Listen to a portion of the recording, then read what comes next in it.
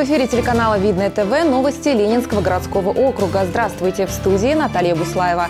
В начале выпуска коротко об основных событиях. В районном историко-культурном центре состоялся отчет главы городского поселения Видное Моисея Шамаилова. В 2019 году был ремонт 43 многоквартирных. На портале Добродела продолжается голосование по выбору мест для установки новых детских игровых площадок по программе губернатора Московской области.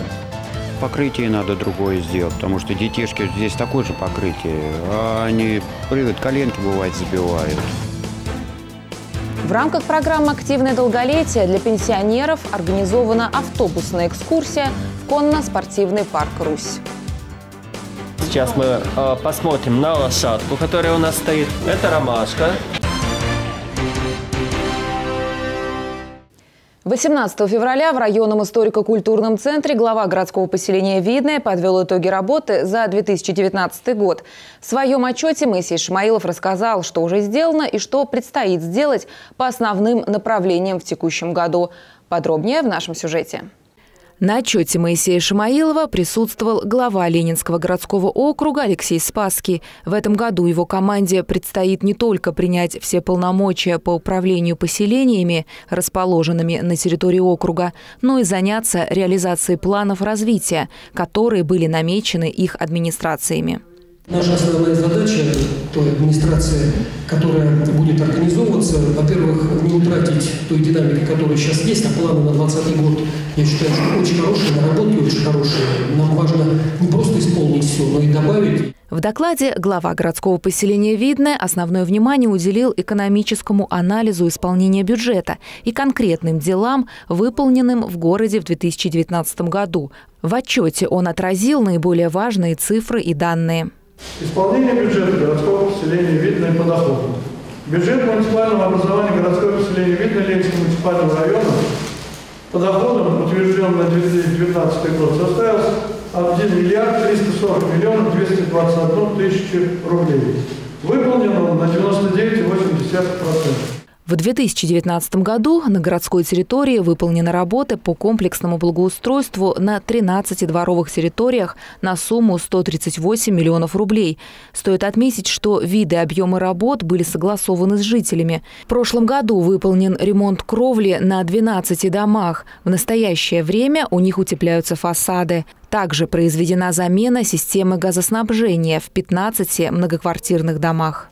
В 2019 году был выполнен капитальный ремонт в 43 многоквартирных домах. В том числе ремонт кровли 17 домов, фактически 12 выполнено, 5 еще в работе должны завершиться с опозданием сроков, но вот в ближайшее время. На мероприятии участникам Великой Отечественной войны вручили юбилейные медали к 75-летию Победы.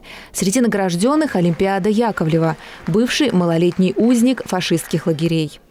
О лагерях что я могу сказать? У меня от э, моего возраста остался только страх.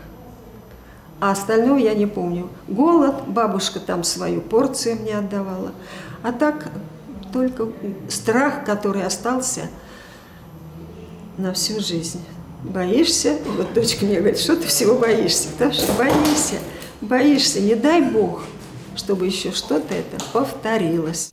На встрече жители могли задать вопросы на волнующих темы и получить ответы не только от главы поселения, но и от заместителей главы администрации Ленинского муниципального района, депутатов, начальников управлений служб, а также руководителей муниципальных предприятий и учреждений города. Наталья Буслаева, Евгений Садовский, Елена Кошелева, Видное ТВ. На портале «Добродел» продолжается голосование по выбору мест для установки новых детских игровых площадок по программе губернатора Московской области «Формирование комфортной городской среды» в 2020 году. Шесть адресов из списка в Ленинском городском округе. Наша съемочная группа узнала, какие именно площадки наиболее остро нуждаются в обновлении. На портале «Добродел» выбирают места для установки новых детских площадок в рамках губернаторской программы формирования комфортной городской среды. В списке сразу четыре адреса в сельском поселении Развилка, два в самом поселке и два в деревнях Милькова и Слобода. На данный момент лидирует адрес развилка 48. За него отдали более 60 голосов, что неудивительно. Старые качели и пара лавочек – вот и вся площадка. Остальные детские игровые комплексы в развилке также старше 2015 года, не имеют защитного покрытия и физически устарели. Также в голосовании участвуют два адреса в городе Видное. На третьем месте голосования детская площадка на школьной 82. Тут отсутствует покрытие, видавшее виды оборудования, да и площадка сама будет интересна разве что малышам. По периметру площадки растет густой мох, значит вода тут скапливается частенько. Площадка довольно большая, есть где и песочницу поновее поставить, и игровой комплекс, и спортивное оборудование для деток постарше и взрослых. Правда, как оказалось, мнения у местных жителей на этот счет разные. Покрытие надо другое сделать, потому что детишки здесь такое же покрытие, а они прыгают, коленки бывает забивают. Вот. Ну и так более-менее хоть подкрасить ее. Так какая-то она несовершенственная. Внешний вид очень хороший. Ага, то есть вас все устраивает? Да. Ага. А вот у жителей Малонагорной улицы и вовсе нет ни одной детской площадки в округе. В трех СНТ проживает около тысячи семей, в каждой есть дети, и им просто некуда пойти погулять. Очень нужна, необходима, потому что детям совершенно негде играть. И, и наверху у нас там ничего нет, там какие-то качельки мы сами поставили, но в любом случае детям нужно заниматься спортом, двигаться активно. Оборудовать детскую площадку предлагается вот на этом пустыре. Кстати, как нам рассказали местные жители, этот забор они не так давно установили самостоятельно, когда узнали, что власти думают устроить тут контейнерную площадку для мусора. Начало положено. Ну да, как сделали, как смогли, огородили, чтобы защитить себя от помойки. Мы хотим, чтобы здесь э, детки э, играли, э, занимались спортом. Было что-то хорошее, позитивное, созидательное, чем мы проезжали и смотрели на помойку. Логично же. Пока мы готовили этот сюжет к выходу, результаты голосования все время менялись. До его окончания осталось всего два дня, так что спешите оставить свой голос. Екатерина Борисова, Кирилл Иванов, Иосиф Гринберг, Елена Кошелева, Видное ТВ. Каждую пятницу на телеканале «Видное ТВ» выходит авторская программа Юлии Погасьян «Мастер своего дела». Передача о людях с интересными профессиями. На этой неделе ведущая подготовила для зрителей интервью с врачом-хирургом высшей категории Александром Пантелеймоновым. Бэкстейдж из Видновской районной клинической больницы сегодня в нашем следующем сюжете. На какую? На твою камеру смотреть? Да, нет, у него крупно будет. Так, на, на, на Сашу? Да, на Сашу. Пишем, да? Да. На создание одного выпуска программы «Мастер своего дела» уходит не один день. Вначале идет подготовка к съемкам, поиск интересного героя, знакомство с ним. Сам съемочный процесс занимает 2-3 часа. Это кропотливый труд целой бригады – редактора, оператора, ведущего. Потом идет длительный процесс монтажа, но результат всегда стоит потраченного времени и сил. Когда передача только первый раз выходила, немножко надо было притереться, понять, э, в принципе, вся команда должна была понять, как надо работать. Сейчас э, по времени уже все намного быстрее и проще, когда рука набилась. И, соответственно, интересно, когда монтируешь, узнаешь очень много нового, много интересного, потому что каждый герой особен по-своему. У нас был и Дед Мороз, рассказывал свои истории, как он работает с детьми, и женщина, которая занимается с особенными детьми ипотерапией. Программа «Мастер своего дела» на Видное ТВ выходит с ноября прошлого года. За это время в передаче приняли участие 8 выдающихся профессионалов в своей сфере деятельности. Это люди, которые трудятся на территории Ленинского городского округа и стараются сделать его лучшим в Московской области. Новый выпуск посвящен медицине. Герой программы – врач-хирург Александр Пателеймонов. Насколько вы любите свою профессию? Я, наверное, не смогу ничего другого делать. То есть вот, сказать о любви – это ничего не сказать. Э, это, наверное, просто уже образ жизни. Это настолько все внутри, настолько связано, является неотъемлемой частью. И говорить о том, что люблю я ее профессию, не люблю, тут нельзя. Это, наверное, некорректно. Правильно сказать, что это просто часть жизни. Александр Пантелеймонов в Видновской районной клинической больнице работает с 2018 года, и в год он проводит порядка 400 операций. Герой программы поделился с нами нюансами своей деятельности, рассказал о новых методах оперирования и раскрыл секрет, что, оказывается, доктора тоже волнуются перед операцией. Что вообще чувствует врач, когда он э, делает операцию? Вы, э, может быть, сейчас уже, конечно, у вас и нет никаких э, ощущений внутренних, но поначалу-то точно они были? Ну, естественно, это чувство волнения, но которое прекращается с моментом первого разреза. То есть здесь включается уже мозг, твердая рука, и э, нужно четко понимать, что ты делаешь, к чему ты стремишься.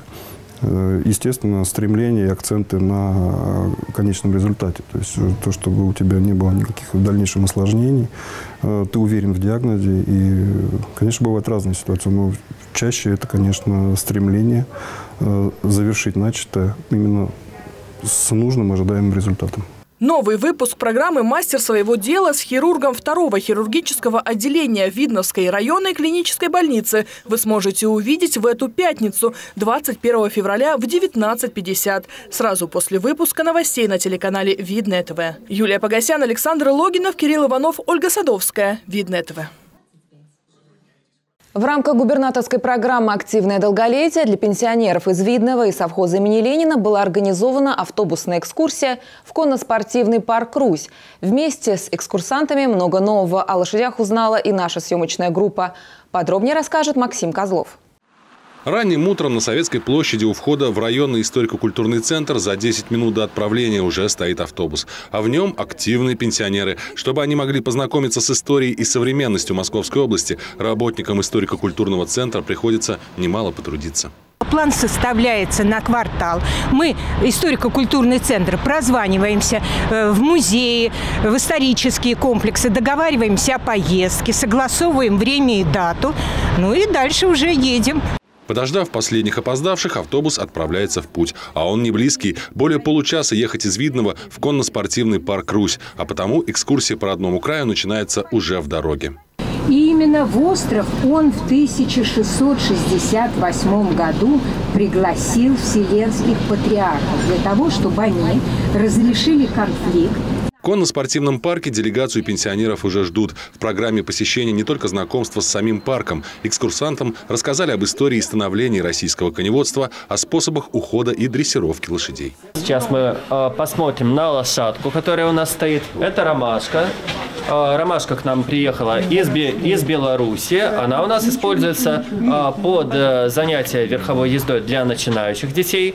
Более 40 человек из поселений Видное и совхоз имени Ленина приняли участие в нынешней экскурсии. И для пенсионеров это возможность не только узнать что-то новое, но и сделать фотографии на память, поделиться эмоциями, с пользой провести время. И лошади – это вообще великолепное животное, понимаете? Оно располагает, вот какое-то умиротворение происходит на душе. Я думаю, что мои все подопечные, им всем понравилось. Стоит отметить, что составляя планы поездок, организаторы ориентируются на мнение пожилых людей. Для этого среди пенсионеров постоянно проводятся опросы. Мы уже были в этом году в Подольске, да, но люди захотели еще посетить, но уже другие места тоже Подольска, да.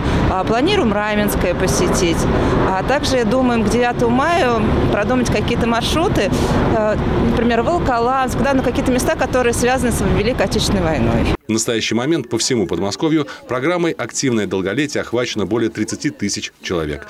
Максим Козлов, Александр Логинов, Ольга Садовская. Видное ТВ. И это все новости на сегодня. В студии была Наталья Буслаева. Всего доброго и до свидания.